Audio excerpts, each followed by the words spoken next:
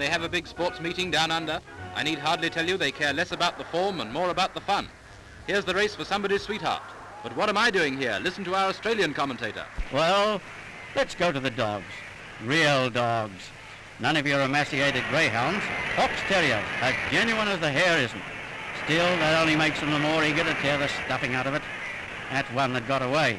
But now for one that didn't. Here, here he is, Towser. This is a hunting pack. A lot of queer cards in this pack. He's the joker. Towser hops in for his chop and he's bolted. A real terrier, this one. Here's enthusiasm for you. Past the winning post, past every other post. And you know how dogs like passing posts. This is dog racing under catch us, catch can rules. Or maybe catch us, catch can't.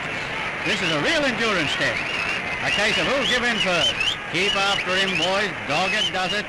He must be, oh, he's beating. He must be by escape out of anything. Uh, here you are. This is the kind of animal that greyhounds can't catch up with. Uh, they've got him. They've got it. No, they haven't. Uh, yes, that, now he's off again. Go on. He'll go on, good lad. He'll never give in. They'll never get it from him. Ah, take it away. Maybe you can get some nourishment out of it. Towser couldn't.